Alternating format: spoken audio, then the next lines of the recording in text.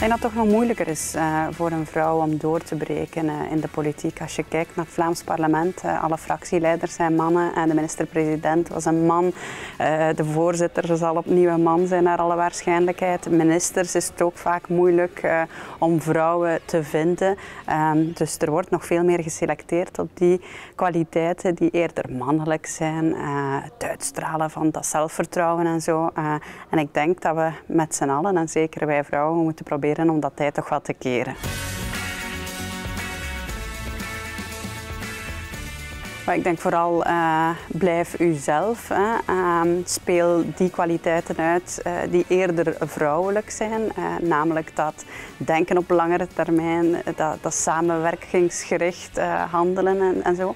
En ook wel um, kom op voor andere vrouwen, uh, ook in de politiek. ik denk dat we soms meer een front moeten vormen en elkaar een stukje verdedigen om ervoor te zorgen dat de cultuur toch ook wel een beetje verandert.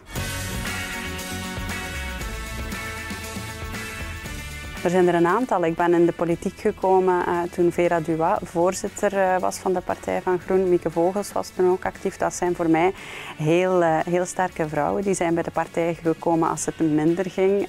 die zijn niet weggelopen, maar die zijn blijven vechten. En het ging toen ook echt om de partij, om de inhoud, om daar samen als groep terug te staan. En dat zijn eigenschappen die ik heel sterk vind. Maar ook in andere partijen bijvoorbeeld. toen ik binnenkwam zat Vinkje Moerman hier nog. Dat is iemand met wie ik uh, van ideeën ongelooflijk kon verschillen, maar die ook wel de reflex had om uh, voor jonge vrouwen op te komen, die een stukje onder haar vleugels te nemen. En uh, eigenlijk zou ik dat ook wel willen doen als ik hier nog zit.